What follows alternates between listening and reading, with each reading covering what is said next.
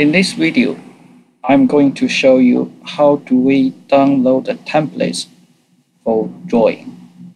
The templates need to be used for your CAD assignment.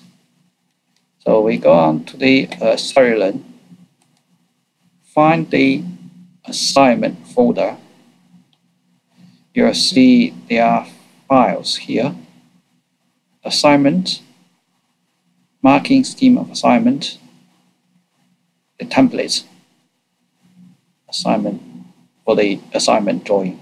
And this is the checklist. You can check against this checklist to see whether you have got uh, all the files to be submitted and drawings to be submitted. To download this uh, CAD assignment drawing template, you just need to click it, then click on download, and to save the file uh, to the directory where you have these uh, CAD models. So it must be the uh, assignment folder. So these all these files need to be in the same folder. That's it for this video.